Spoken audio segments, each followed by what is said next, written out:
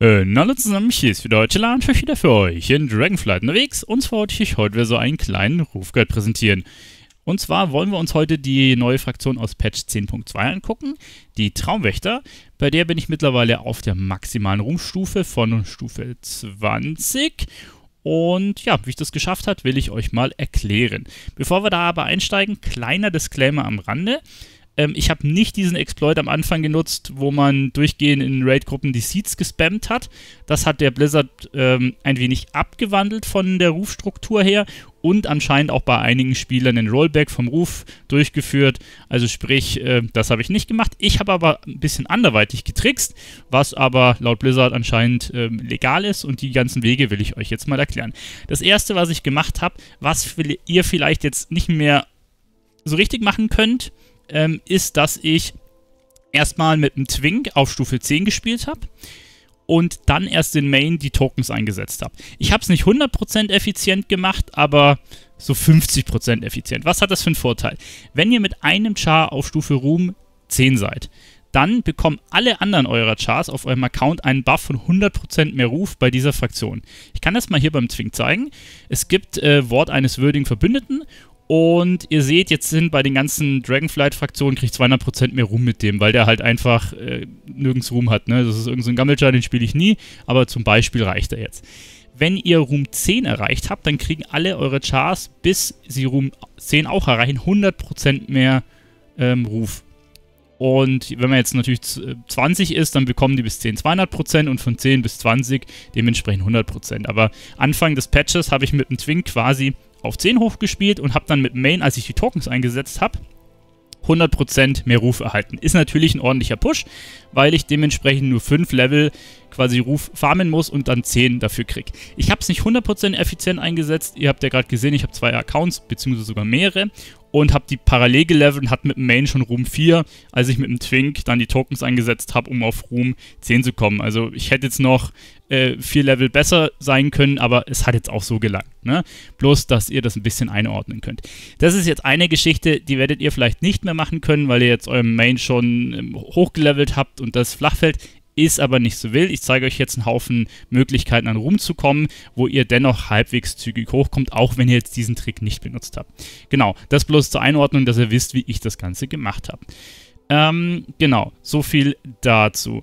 Ihr könnt natürlich auch einen komplett neuen Char nehmen und das machen, aber dafür würde ich eher abraten, macht es lieber auf dem Main. Ihr kommt die nächsten äh, Tage bzw. Wochen eher noch auf Max Ruhm. Gut, dann erkläre ich euch mal die ganzen Möglichkeiten. Klar, das erste, was relativ offensichtlich ist, ihr spielt die komplette Kampagne. Aktuell zur Aufnahme des Videos haben wir den 16. und, ähm, oder wenn ihr später guckt, 16. November haben wir. Zufällig auch gerade der Geburtstag, da kommen wir aber gleich noch drauf zu sprechen. Und ähm, jetzt ist es so, dass er natürlich als allererstes die Kampagne spielt. Aktuell können wir die Kampagne 6 von 7 spielen. Das heißt, für, die, für das erste Chapter der Kampagne das kam ja schon in Patch 10.1.7 raus. Da gab es kein großes Ruftoken. Ich meine, für alle anderen Chapter der Kampagne gab es ein oder gibt es ein Ruftoken, was 2500 Rufwert ist. Dieses Ruftoken ähm, setzt ihr am besten dann ein, wenn ihr irgendwie extra Buffs habt. Also die könnt ihr erstmal sparen. Und aktuell haben wir den Geburtstagsbuff und ja, zur Aufnahme des Videos, gegenteilig zu manchen Informationen, die im Netz rumschwirren, der Buff gilt auf diese Ruftokens. Also 19% mehr Ruf drauf. Bei 2500 Ruf ist es doch eine ganze Menge. Also das solltet ihr auf jeden Fall dann einsetzen.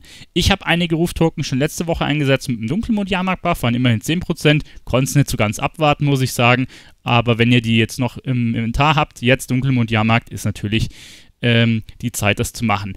Äh, was natürlich noch optimaler wäre, wenn ihr natürlich, wie ich es eingangs erwähnt habe, einen Twink erst auf 10 haut, falls ihr jetzt mit einem Main noch unter 10 seid und dann die Ruftokens einsetzt. Was ganz gute Idee ist, wenn ihr jetzt kurz vor 10 seid, ihr seid bei 9,99 und setzt das Ruftoken ein, dann bekommt ihr trotzdem, wenn ihr auf dem anderen Char schon ähm, auf 10 seid, die 5000 Ruf, beziehungsweise dann noch die äh, 19% drauf und äh, hittet gleich dann zwei Level hoch. Also da kann man auch mal noch so ein bisschen tricksen, dass man große Rufquellen kurz äh, vor 10 einsetzt, ne, falls man einen Char schon hat, der quasi den Buff freigeschalten hat.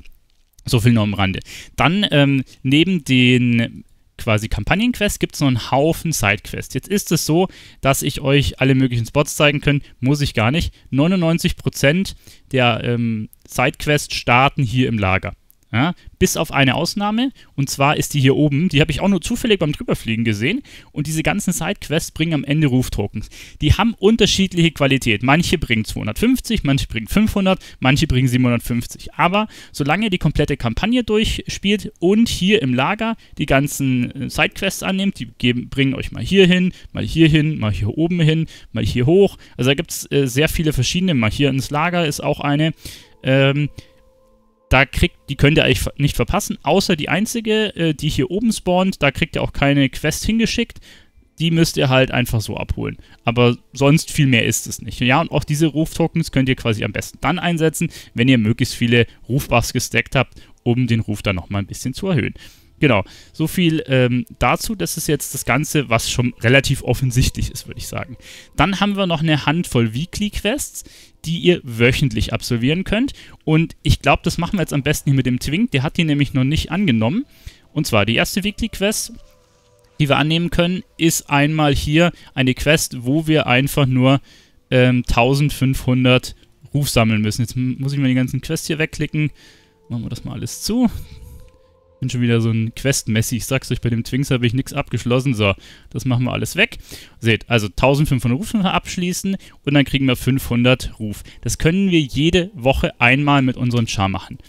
Äh, eine zweite Möglichkeit ist, ähm, das Superblumen-Event mitzunehmen. Und zwar, ja gut, das hat jetzt gerade schon angefangen, aber hier oben gibt es eine Quest, die einfach sagt, schließt das Superblumen-Event ab und wie schließt es ab? Naja, killt halt hier unten den Boss. Wer das Superblumen-Event nicht kennt, der startet jede Stunde hier oben, dann dackelt der Baum, wenn dann rechts oder links rum, ne, je nachdem. Unten spawnt ein Boss, den haut er um. Zusätzlich müsst ihr noch 50 Tau oder 50 äh, von der Währung da vom Superblumen-Event erspielen. Das kriegt ihr, wenn ihr einfach auf ein paar Mobs draufhaut. Und sobald ihr das habt, ähm, kriegt ihr einen Beutel und in, auch in dem Beutel ist neben Gier 1000 Ruf drin. Ja, und ähm, diese 1000 Ruf zählen natürlich auch für den dazu. Da ich meinen Main ja schon höher habe, kriege ich meistens schon 2000 Ruf und kann quasi dementsprechend direkt mit den Twinks äh, Superblumen-Event machen, Beutel holen und dann gleich die nächste Quest auch noch abgeben. Also die zusammen bringen schon mal 1500 Ruf. Hier bei der anderen Weekly Quest, wo man die Samen einpflanzen muss, kriegt man keinen Ruf. Das habe ich jetzt geguckt. Aber ähm, die Quest sagt, wir müssen fünf Samen einpflanzen. Da kriegen wir den Beutel. Ich würde die trotzdem mitnehmen, auch wenn ihr kein, wenn ihr kein Gear wollt. Es ist nämlich for free, denn die Samen müssen wir sowieso einpflanzen. Und ähm, das zeige ich euch mal, wie das funktioniert. Falls ihr das noch nicht gemacht habt, ihr habt es sicher schon gemacht. Ihr braucht als allererstes diese Dinger hier. Traumsaat. Und ihr seht, ich habe da einen Haufen von, obwohl ich schon viele eingepflanzt habe. Ihr schaut einfach auf der Map, dass ihr so eine Marktfülle habt und dann könnt ihr das Zeug einpflanzen. Jetzt pflanze ich so ein Grün ein, das muss ein bisschen casten. Wo kriegt ihr die Dinger her? Die droppen von, oder sie können von jeglichen Mobs aus der Zone droppen. Möglichst gut kann man sie farmen, indem man dementsprechend ähm, Rares umhaut, das Superblumen-Event spielt, Kisten aufmacht, da sind sie verstärkt drin, aber sie können auch allen möglichen normalen Mobs droppen, beziehungsweise es gibt auch noch so eine Smaragdfülle, so ein Event, das ihr auf der Map habt, da kriegt ihr auch immer ganz gut die Sachen. Genau. Ähm, bei den Samen ist es so, ihr könnt quasi hier verschiedene Sachen machen. Ihr könnt quasi einmal den Samen reinpacken und dann nochmal die Tautropfen reinpacken. Davon gibt es dann verschiedene Belohnungen, habe ich aber auch schon ausführlich in meinen Mount Guides erklärt, beziehungsweise in anderen Videos. Was jetzt interessant für uns hier ist, ähm, wenn ihr die ersten fünf Samen in der Woche pflanzt, kriegt ihr für jeden Samen 250 Ruf, plus halt nochmal ne, Multiplikatoren drauf, die ihr oben stehen habt. Heißt, ihr wollt in der Woche fünf Samen pflanzen, kriegt ihr nochmal 1250 Ruf für die fünf Samen. Äh, für jeden weiteren Samen, den ihr pflanzt und ihr dementsprechend dann hier die, den Smaragd ähm, und dann dementsprechend auch einen Samen reinpackt. Ich meine, ihr müsst auch den Tau hoch machen, kriegt ihr 5 Ruf, ne? Und ja, am Anfang der Expansion konnte man, indem man nur Tau reingesteckt hat, 20 Ruf pro kriegen und da haben halt Leute ein bisschen exploited in Anführungszeichen, weil sie äh, den Tau, den kriegst du da nachgeschmissen ohne Ende, musste man keinen Samen reinhauen, um Ruf zu bekommen. Und dementsprechend haben das Leute in Raids gemacht. Aber da hat Blizzard anscheinend Rollbacks ge äh, gewirkt und ja, jetzt kriegt es halt nur noch 5 Ruf und man muss aber selber einen Samen mit reinstecken, dass man den Ruf kriegt. Das würde ich nicht empfehlen, weil 5 Ruf pro Ding ist halt schon echt wenig. Den Ruf kriegt ihr übrigens erst, wenn das die, ähm, der Timer durch ist und ihr den Samen rausholt. Ihr könnt aber wegfliegen und andere Samen Besamen, keine Ahnung, klingt jetzt falsch, aber ihr wisst, was ich meine, und das dann später wieder abholen. Das ist kein Problem, also ihr müsst da nicht warten. Heißt, 5 Samen, A250 Ruf plus Multiplikator, also 1250 plus halt ne, 19% oder wie viel Prozent ihr extra bekommt. Das haben wir auch noch. Dann haben wir natürlich noch sämtliche World Quests hier, die ihr absolvieren könnt. Ich habe die schon gemacht. Kleiner Bonustipp. Holt euch einen Vertrag, holt euch den Vertrag Traumwächter und zwar in Rang 3, dann bekommt ihr 15 Ruf pro World Quest. Klingt nicht viel, kann sich aber summieren. Es gibt jeden Tag zwei World Quests, die ihr hier dazu kriegt. Und zusätzlich, was ich empfehlen kann, wenn ihr noch ein bisschen Ruf braucht, ihr könnt jegliche alte World Quest machen, die ihr dementsprechend hier auf der Map habt und kriegt für jede 15 Ruf. Klingt nicht viel, aber wenn es 50 World Quests sind, ich habe heute schon ein paar gemacht, um auf Max zu kommen, ähm, ist das einiges. Ne? Ihr müsst rechnen, äh, es, es, B-Weekly kommen die World Quests dazu und ihr könnt vielleicht wöchentlich 100 World Quests sind drin, das ihr macht, was dann 1500 Ruf sind, beziehungsweise plus Multiplikator noch ein bisschen mehr. Also da kommt ihr auch auf einiges. Klar, es ist ein Haufen Fitzelarbeit, gebe ich vollkommen zu. Das ist halt, das ist halt so das Maximum, oder das, wenn ihr das Maximum rausholen wollt, könnt ihr das noch machen. Kleiner Bonustipp: Es sind nicht nur die normalen World Quests da, die ihr B-Weekly habt, also einmal Mittwoch spawnen die, einmal Samstag spawnen die, sondern ihr könnt jeden Tag in jeder Zone noch eine Pet Battle World Quest machen. Also es ist hier eine Pet Battle World Quest, hier, hier, hier, hier. Also in fünf Zonen gibt es jeden Tag nochmal eine Pet Battle World Quest. Jeden Tag gibt es nochmal zwei PvP World Quests, wenn ihr den War Mode anschaltet. Dann habt ihr nochmal zusätzliche World Quests mit so Schwerter auf dem Map. Das sind dann also 5, 6, 7 und ähm, ne, dann dementsprechend das sieben Tage die Woche. Also da kommen einige extra World Quests zusammen, neben den B-Weekly World Quests, die quasi zweimal die Woche spawnen. Heißt, 100 World Quests kriegt ihr mit Leichtigkeit in der Woche zusammen, wahrscheinlich sogar mehr, wenn ihr einfach äh, mit dem 15% Buff das mitnehmen wollt. Oder mit dem 15 Ruf-Buff, nicht Prozent. Genau. Also das ist auch noch so ein kleiner Nebentipp. Dann kommen wir noch zu Kisten. Ich habe hier das Add-on ähm, Handy Notes, jetzt blenden wir mal alles aus, was wir nicht brauchen. Zeigt bereits abgeschlossen. Es gibt Kisten, die bringen Ruf. Und zwar ähm, zum Beispiel die Kiste hier oben bringt 200 Ruf. Da müsst ihr euch neben die Kiste legen, slash sleep oder schlafen, wenn ihr einen deutschen Client habt wie ich. Und dann könnt ihr, während ihr schlaft, aufstehen mit so einer Traumgestalt und eine Kiste öffnen. Die bringt zum Beispiel Ruf 200. Dann ähm, haben wir hier eine Kiste, die müsst ihr einfach nur aufmachen auf so einem Dorn oben. Ich habe einen Videoguide gemacht zu allen Kisten. Also falls ihr das jetzt ein bisschen zu oberflächlich findet, schaut da rein. Da zeige ich, wie ich alle aufmache. Die bringt 200 Ruf. Das ist wieder eine Sleep-Kiste, bringt auch 200 Ruf. Die ist wieder eine Sleep-Kiste, bringt auch 200 Ruf da müsst ihr so einen so Mob nachlaufen. Ich weiß gar nicht, was das war, ein Springen oder so. Der läuft ein bisschen hin und her, müsst ihr zweimal anklicken. Am Ende könnt ihr eine Kiste aufmachen, bringt auch 200 Ruf. Da müsst ihr einfach nur einen Samen aufmachen, oben gibt 200 Ruf.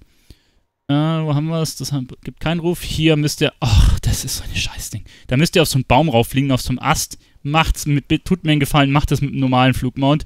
Ich habe das 100 Mal aufgemacht, weil ich diese gigantischen Samen für die Maus gefarmt habe mit meinen Twinks tut mir einen Gefallen oder tut euch selber einen Gefallen, fliegt da mit einem normalen Mount drauf. Mit diesem Drachenflugmount, diesem kleinen Ast zu treffen, vergiss es. Ja, bringt auch 200 Ruf. Dann haben wir hier unten noch eine, die bringt auch 200 Ruf. Das ist wieder eine Sleep-Kiste. Und die bringt keinen Ruf. Ich hoffe, ich habe jetzt alle gesehen. Ähm, das Add-on heißt, wie gesagt, Handy Notes. Müsst ihr Schätze einschalten. Ich habe jetzt bereits abgeschlossene drin weil sonst werden die nicht angezeigt, habt ihr natürlich schon aufgemacht, aber ihr braucht eigentlich nur die Schätze anklicken, dann seht ihr die. Oder ihr schaut mein Video an, wo ich das einmal zeige. Genau. Ähm, so viel dazu. Jetzt bin ich gerade überlegen, das habe ich noch vergessen. Ähm, ja, es gibt noch eine weitere Quelle und zwar können wir hier hinten einmal ähm, zwei wöchentliche Quests machen. Und zwar, diese Dame hier hat eine wöchentliche Quest, dass sie so Warenlieferung haben will. Ihr nehmt die Quest an und stellt eine Warenlieferung her. Ihr könnt euch aussuchen, was ihr wollt. Ja? Ihr könnt hier Fische beisteuern, ihr könnt hier irgendwelche Materialien oder Blumen beisteuern. Es bleibt sich komplett gleich. Ihr müsst halt schauen, was bei euch am günstigsten ist. Ne? Äh, ich habe jetzt zum Beispiel diese Juwelen gemacht, braucht man 25 Juwelen und ähm, dann kann man einen so eine Kiste herstellen. Ja, müsst ihr halt immer ein bisschen nach dem Marktpreis gucken. Ich glaube, diese Preisdaten sind vom Auktionator, meine ich, falls euch das interessiert. Also das ist eine Option. Ähm, sie hat zwei Quests. Erste Quest, ihr müsst eine Kiste abliefern, 250 Ruf. Zweite Quest, ihr müsst fünf Kisten abliefern. Macht ihr halt genauso, könnt ihr auch hier herstellen. Bringt ebenfalls 250 Ruf. Das ist wöchentlich, heißt 500 Ruf nochmal hier oben drauf. So, jetzt muss ich mal noch gucken. Ich hatte mir noch was aufgemacht, ähm, dass ich da nichts vergesse zu sagen. Ach ja, beim Superbloom-Event, beim Endboss, habe ich eine Weile jedes Mal, wenn ich ihn gekillt habe, 50 Ruf gebracht. Irgendwann habe ich mit keinem Charter mehr Ruf bekommen.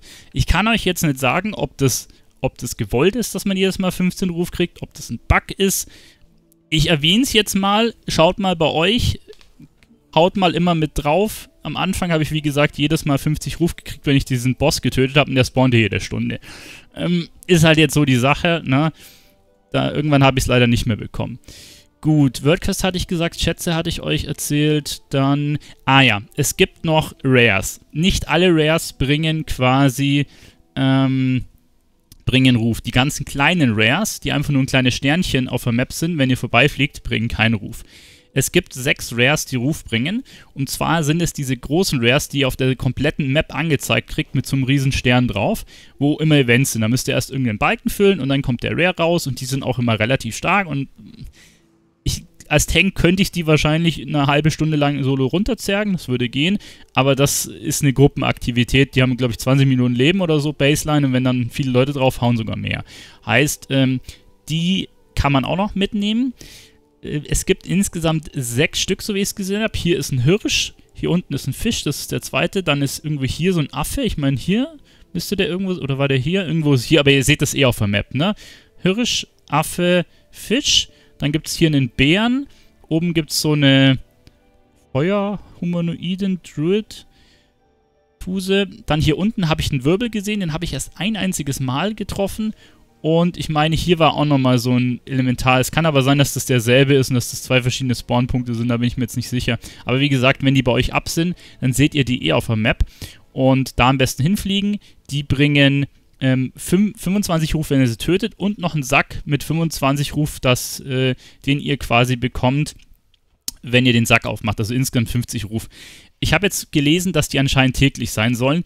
Glaube ich aber ehrlich gesagt nicht, denn wenn ich die einmal getötet hatte in der Woche, dann habe ich die mit dem Twink, der sie nicht getötet hat, noch auf der Map gesehen, mit dem Main nicht mehr. Ich vermute, dass die Weekly sind und ich habe sie bis jetzt auch nur Weekly getötet. Ja? Ähm, könnt mir ja gerne in die Kommentare schreiben, ob ihr zweimal Ruf bekommen habt. Ich habe die bis jetzt immer nur einmal die Woche getötet und halt quasi äh, ja, die 50 Ruf pro Mob einmal die Woche mitgenommen. Sechs Stück sollten das im Normalfall sein. Genau.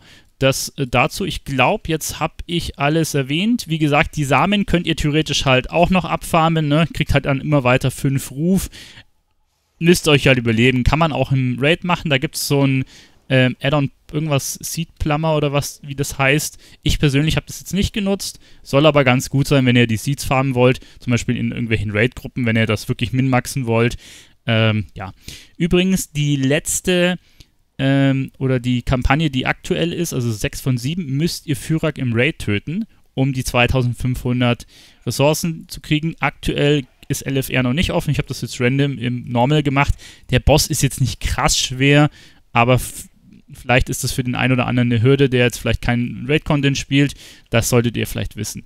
Ähm, ein Kampagnenabschnitt wartet ja noch, der kommt dann erst nächste Woche und mit diesem ähm, sollte es dann eigentlich auch nochmal einen Ruftoken geben. Also heißt, wenn ihr jetzt noch relativ weit von 20 weg seid, kein Stress. Ihr habt ja die ganzen Weekly-Aktivitäten, die ihr dann nächste Woche wieder erledigen könnt.